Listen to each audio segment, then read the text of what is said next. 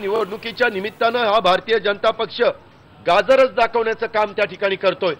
हे स्पष्टपणे आपण सगळ्यांनी या निमित्तानं ध्यानामध्ये घेतलं पाहिजे.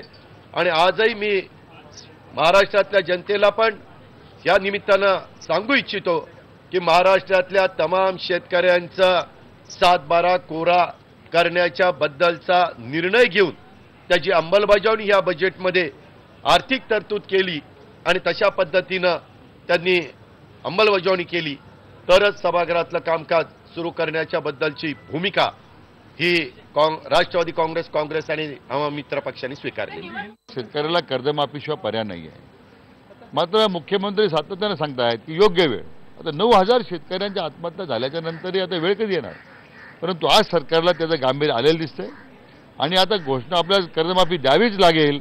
आणि म्हणून आता आज भारतीय जनता पक्ष आणि शिवसेनेची मंडळी आज स्वतः कर्जमाफी झाली पाहिजे म्हणून घोषणा द्यायला लागलेत. मला असं वाटतं की ही एक प्रकारचा जो तम ही नौटंकीच आहे.